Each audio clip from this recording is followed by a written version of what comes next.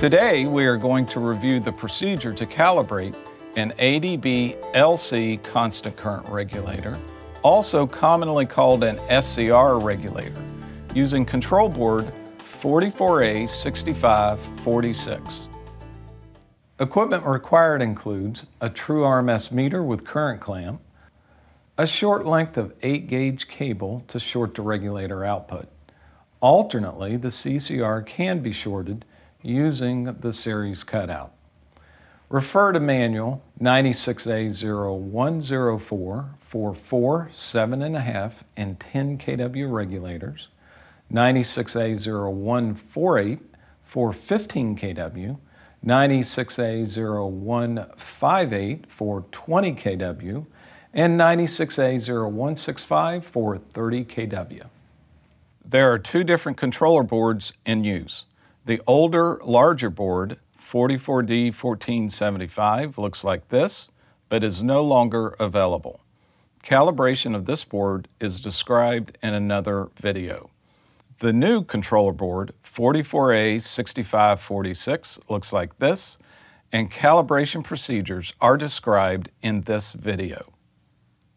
Before we begin the calibration, first a safety warning. Read the instructions in the manual in their entirety before starting calibration. Only personnel qualified to work on high voltage systems should attempt to make any adjustments on the constant current regulator.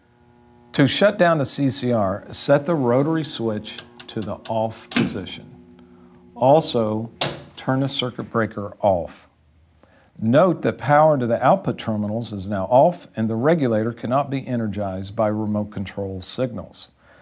Power is still present on the input power terminals and on the internal control circuitry. To remove input power, disengage the disconnect switch or external circuit breaker. Calibrate the CCR with no load present by shorting the regulator's output. This can be done using an SCO or S1 cutout to short the output, or by placing a short length of series circuit cable across the output.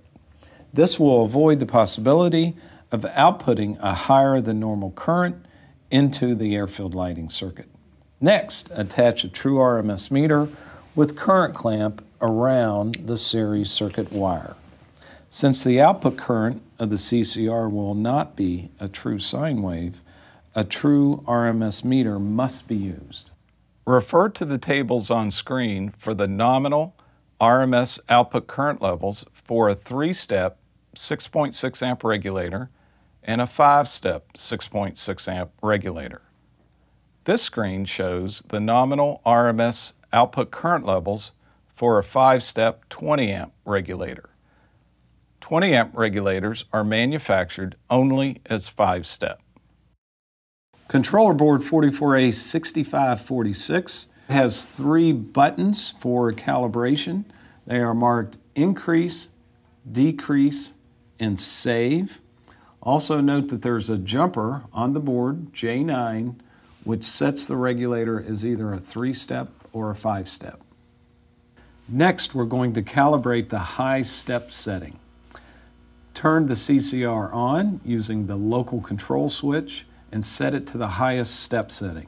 This will be B5 for a five-step CCR or B100 for a three-step.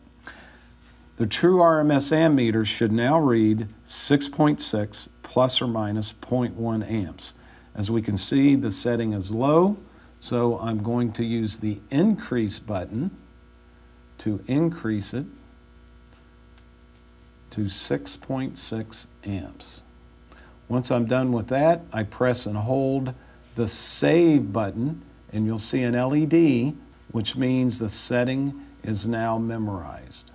Note, it is important to save the calibration setting even if you did not change the calibration. So now we want to adjust the remaining steps for a three-step 6.6 amp CCR. So using the local control switch, we will set it to the B30 setting, and we want the output current to be 5.5 amps. As we can see here, the current setting is a little bit high, So what we want to do now is hit the decrease button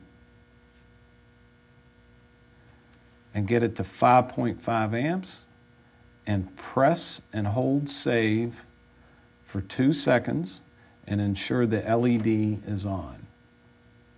Next, set the rotary switch on the front of the regulator to the B10 position. In B10, the output current should be 4.8 amps. And as we can see here, the output current is a bit high, so we hit the decrease button until we get 4.8 amps, then press and hold the save button. When the output current adjustment has been completed, turn off the CCR. Set the series cutout to the normal operating position or remove the shorting cable on the CCR output if used. Reconnect the airfield circuit and verify that the calibration is correct at all steps. Note that for a 20 amp regulator, the procedure is the same. Overcurrent calibration. The overcurrent setting is preset and normally does not need to be adjusted. If you wish to change the overcurrent setting, perform the following procedure. Turn the regulator off and short the output so that the field load cannot be damaged by an actual overcurrent that occurs during the adjustment. Next, turn the local switch to the highest brightness step, which is B5 for a five-step CCR and B100 for a three-step CCR. The true RMS ammeter should now read 6.6 amps. Next, press and hold the increase and decrease buttons at the same time for about three seconds. Then the LED next to the save button will illuminate, indicating that you are in the overcurrent adjustment mode. Note that the CCR output current will increase to the level previously set as the overcurrent level. Next, you want to use the increase or decrease buttons to set the new overcurrent setting. In this case, we want to set the overcurrent to 6.93 amps, which is about 5% of the 6.6 amp setting. Then press and hold the save button. The LED will extinguish and the CCR will revert to the normal operating mode. Finally, you want to remove the short from the output of the CCR and reconnect the field lighting load. For additional information, please refer to the manual for your CCR, which is available on the ADB website at www.adb-air.com. You may also contact ADB customer service directly using the information shown on the screen. Thank you for your attention.